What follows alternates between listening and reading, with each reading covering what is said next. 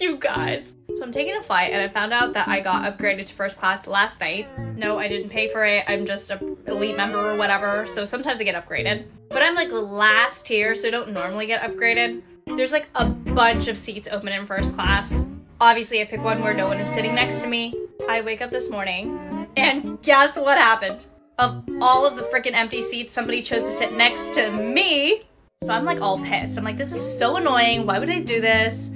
And then Kevin sees me. He's like, why are you so upset? And I was like, some psychopath decided to sit next to me instead of getting their own row. And he was like, babe, that's me. I chose to sit next to you. I'm already like the most bottom tier of the lead status, but Kevin is somehow even lower than me.